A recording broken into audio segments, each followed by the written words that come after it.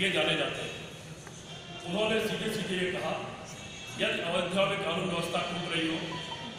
यदि अयोध्या में संविधान का निरादर हो रहा हो, यदि अयोध्या में सर्वोच्च न्यायालय द्वारा की गई व्यवस्था के खिलाफ कुछ हो रहा हो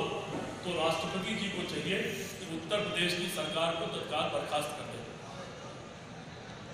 ये उनकी आज की बड़ी मांग थी, क्योंकि कल्याण सिंह के समय में जो हुआ था, कल्याण सिंह ने सर्वोच्च न्यायालय ने हलफनामा दिया था कि हम रक्षा करेंगे और संविधान की रक्षा करेंगे। लेकिन उसके विपरीत सारा काम हुआ था। कल्याण सिंह का एपिसोड दोबारा न दोहराया जाए, इसलिए शिवपाल सिंह यादव जी ने देश के जिम्मेदार नेता के रूप में